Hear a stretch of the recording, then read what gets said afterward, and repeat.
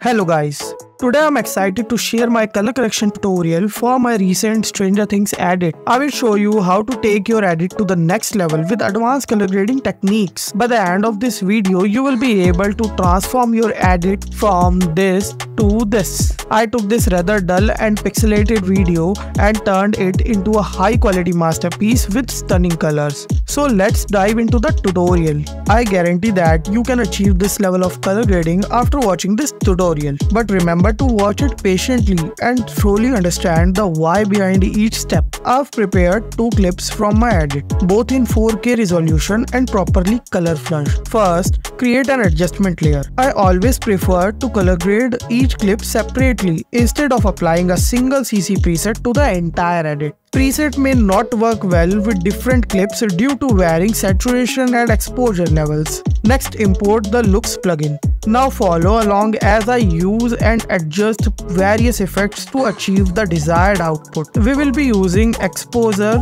shadow and highlights, hue and saturation and S-curve. For exposure, I'll set it to 1. In shadows and highlight, I will use 1 for shadows and 0.5 for highlights. For hue and saturation, I will go with around 130. The most important effect for adjusting CC mistakes is the S-curve. Practice using this. The two points are for exposure adjustment, the midpoint blend video exposure and the two ends of this line are for adjusting contrast.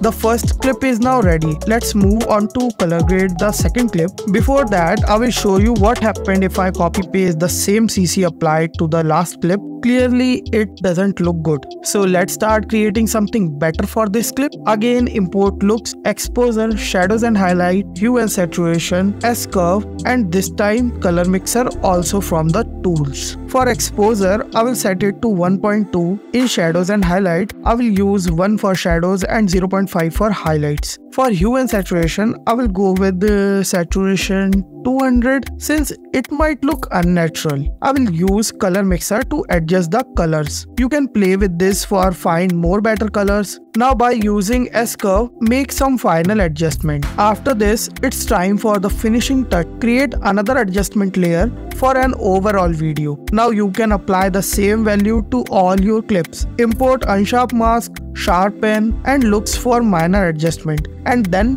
detail preserving upscale also. Follow my values. Set the amount to 15 and the radius to 45. For unsharp mask, for sharpen use a value of 55 and for detail preserving upscale set everything to 100. For looks, make minor changes in shadow and highlight and hue and saturation.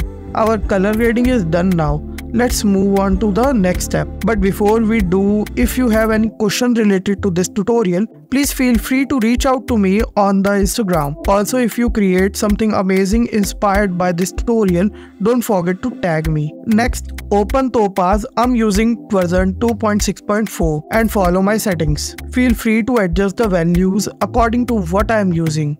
Revert compression, make it 100. Recover details 85. Sharpen 30 reduce noise 90, dehalo 15 and deblur 100.